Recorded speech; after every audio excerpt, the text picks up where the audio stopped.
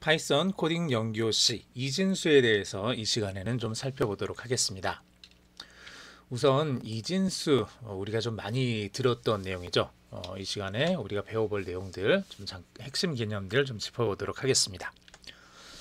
컴퓨터는 0과 1만을 사용하죠. 어, 즉 이걸 이진수라고 우리가 보통 부르는 거고요. 어, 이진수는 비트라고도 표현하는데 이제 binary digit 의 줄임말입니다. bit 이렇게 해서 이제 비트라고 하죠. 이진수 0과 1만을 사용한다는 것을 이렇게 우리가 설명해 볼 수 있을 것 같아요. 컴퓨터가 이해할 수 있는 것은 전기가 흐르거나 혹은 흐르지 않거나 이 둘 중에 하나밖에 없습니다. 전기가 흐르는 것을 1이라고 하고 전기가 흐르지 않는 것을 0이라고 이렇게 약속하기로 한 거죠. 즉 우리가 컴퓨터 안에 뚜껑을 열어 보면은 그 안에 이제 커다란 메인보드라는 게 있고 그 안에 여러 개의 그 작은 그 선들이 연결되어 있는 것을 볼 수 있습니다. 우리가 이제 PCB라고 하죠. 그 안에 이제 우리가 보통 CPU라고 불리는 이제 그 칩이 박혀 있고요. 바깥쪽에 램이라는 게 박혀 있고 또 이것저것 많이 연결돼 있죠. 모든 것들이 다 아주 가느다란 선으로 연결돼 있습니다. 즉 이 모든 선은 전기가 흐르거나 혹은 흐르지 않거나 이 두 가지 경우밖에 없는 거죠. 어, 이걸 우리가 이진수 체계를 사용해서 컴퓨터는 0과 1만을 사용하고 0과 1만을 저장하고 저장되어 있는 0과 1만을 가지고 어떤 작업을 할 수 있는 그런 기계로 우리가 사용을 하게 됩니다. 하나의 숫자는 다른 수 체계로 나타낼 수 있습니다. 이진수, 8진수, 16진수, 10진수. 10진수는 우리가 사용하기에 사람이 사용하기에 굉장히 편한 수이고요. 나머지 이진수는 컴퓨터가 사용하기에 편한 수입니다. 동시에 8진수나 16진수는 우리가 쓰기에는 그렇게 어, 썩 좋지는 않지만 컴퓨터 측면으로 봤을 때 이진수가 비트가 3개가 되면은 8진수가 되고 거기에 비트가 하나가 더 더해져서 비트가 4개가 되면 16진수로 바로 어, 교환을 할 수 있습니다. 변환이 쉽게 된다는 얘기죠. 그래서 이런 부분에 있어서 16진수를 많이 사용을 하고 있습니다. 이렇게 변환된 숫자는 표기 방법만 달라졌을 뿐이지 여전히 동일한 크기를 가지게 됩니다. 어, 현재 사용 중인 수체계는 일반적으로 숫자의 오른쪽 아래에 작은 첨자로 나타냅니다. 즉 이게 이진수 101001이면은 아래쪽에 오른쪽 아래쪽에 이렇게 2라고 작게 쓴다는 얘기죠.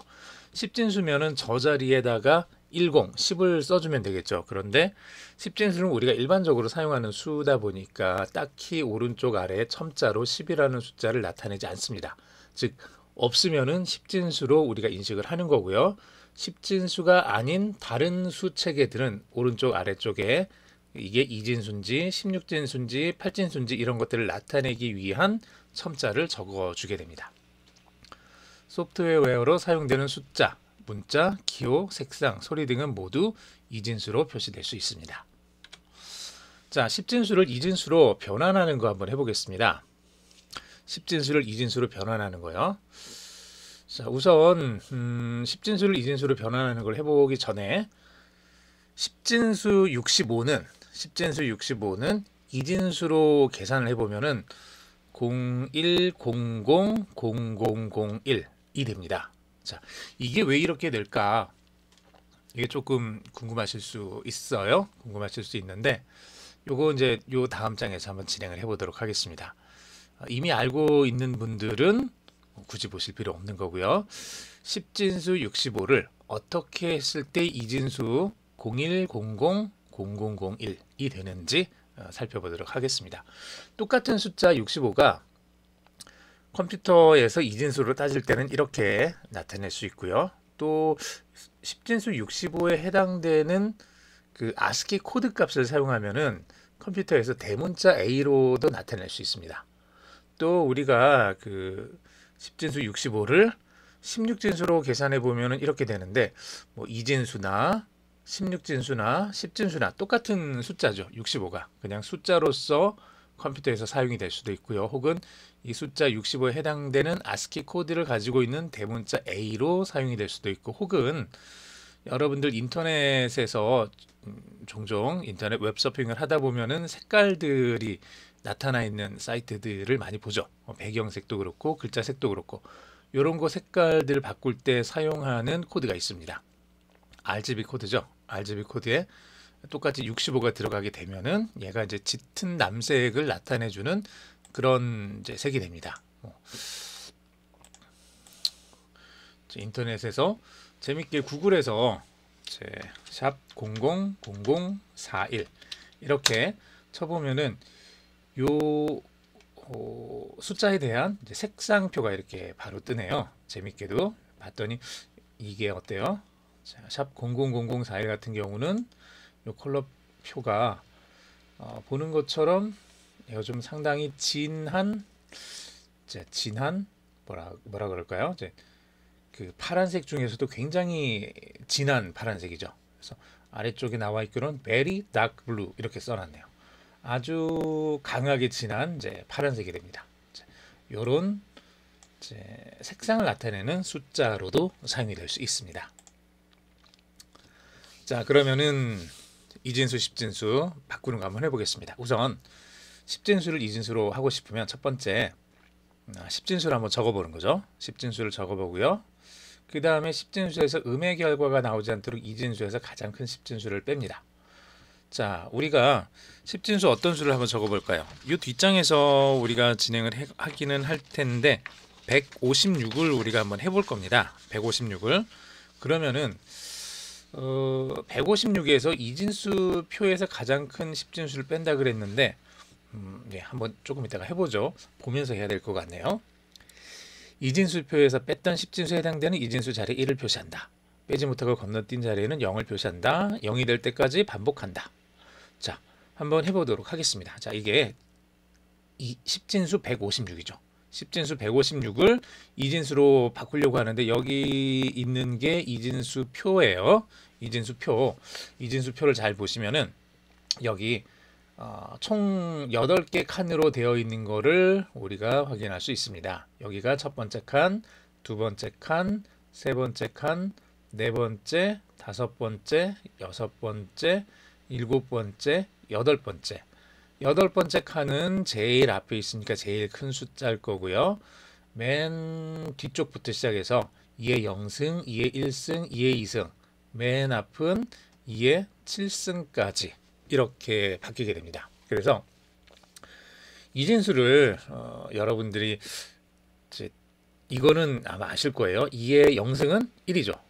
2의 1승은 2를 한 번 곱한 거니까 2고 2의 제곱은 2를 두 번 곱한 거니까 4 2의 세제곱은 2를 세 번 곱한 거니까 8 그러니까 여기서부터 2씩 증가하는 거예요.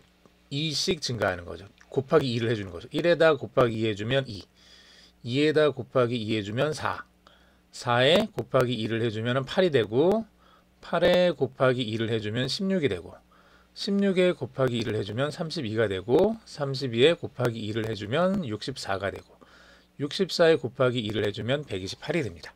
자 이렇게 1부터 128까지가 2의 0승부터 2의 7승까지예요. 자 저걸 가지고 우리가 156을 10진수, 10진수 156을 이진수로 한번 바꿔보겠습니다.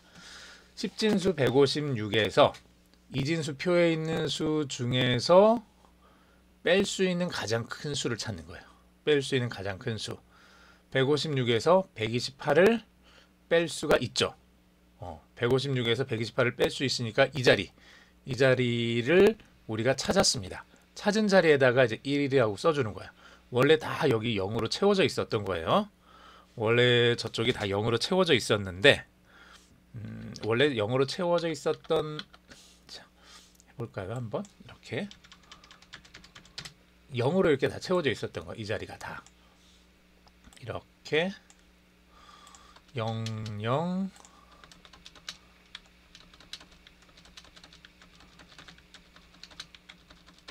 이렇게. 다 0으로 채워져 있던 저 자리에다가 우, 이런.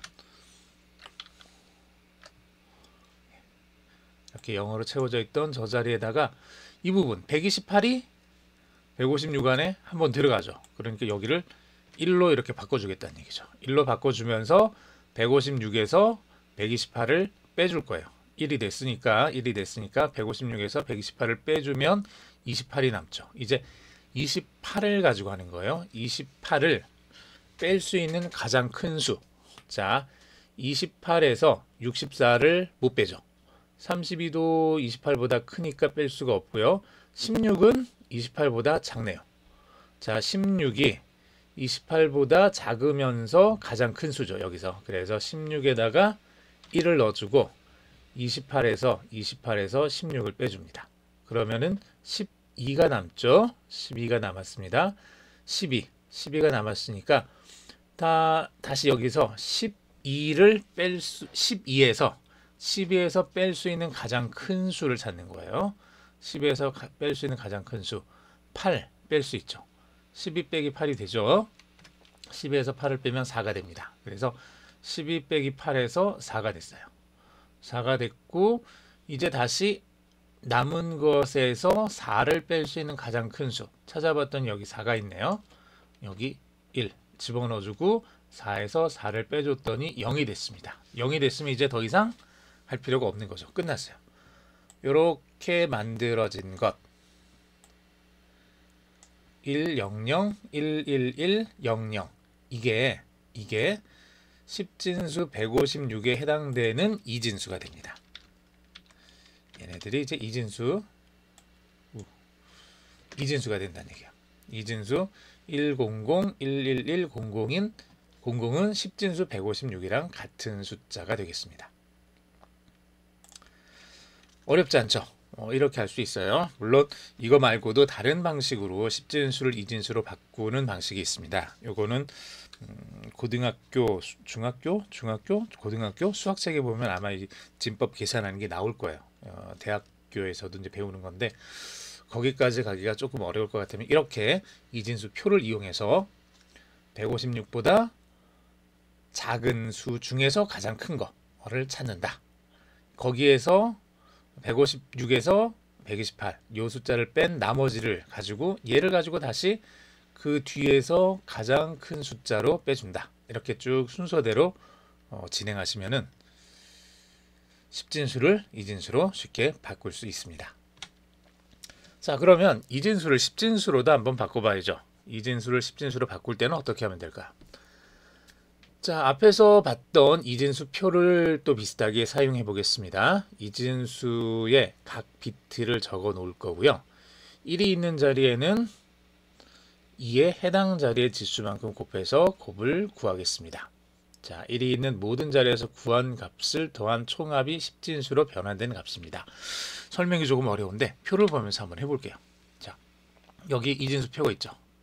이진수 표가 있고요. 이번에는 우리가 16진수 156을 모르는 거예요. 16진수 156을 모르고 이진수 100110111 이걸 알고 있는 거죠. 요걸.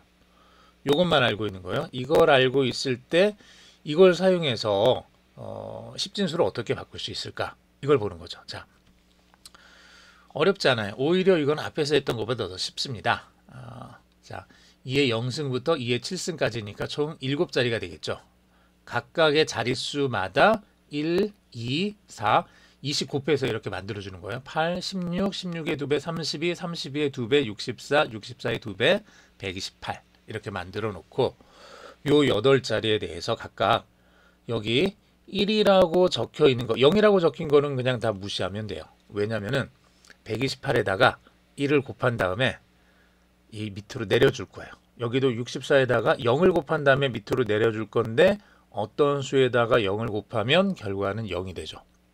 그러니까 0이라고 되어 있는 부분들은 다 계산할 필요가 없이 무시하고 넘어가면 돼요. 자, 1이라고 되어 있는 거 128, 1이라고 되어 있는 거 16, 1이라고 되어 있는 거 8, 1이라고 되어 있는 거 2, 1이라고 되어 있는 거 1.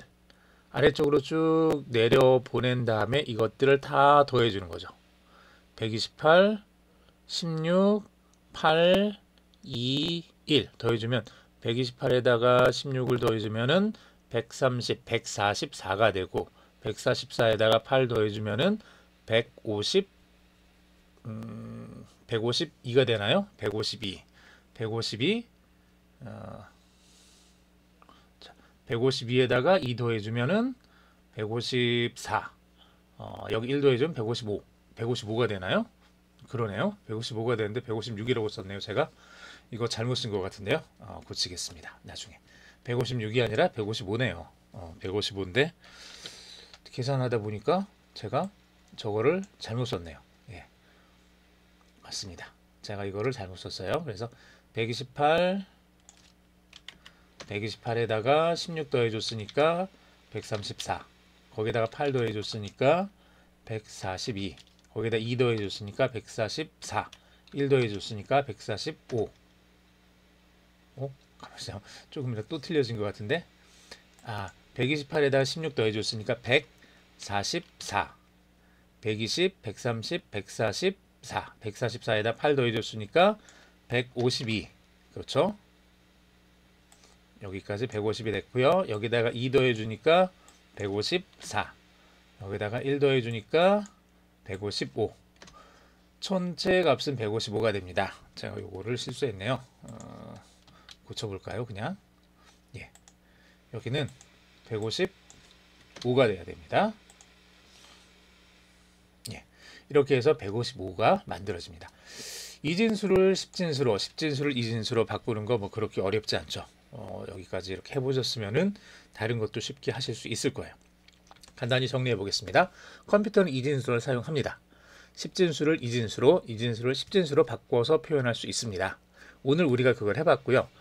8진수나 16진수로 바꾸는 거는 안 해봤어요. 8진수나 16진수로 바꾸는 거는 오늘 어, 우리가 하지는 않을 거고요. 혹시 여러분들이 궁금하시면 그거는 10진수에서 8진수, 10진수에서 16진수로 바꾸는 게 아니라 2진수에서 8진수, 2진수에서 16진수로 쉽게 바꿀 수가 있습니다. 그거는 따로 제가 언제 한번 음, 강의를 만들어서 올리도록 하겠습니다. 8개 비트를 사용해서 만들어진 하나의 바이트는 0에서 255까지 표현할 수 있습니다.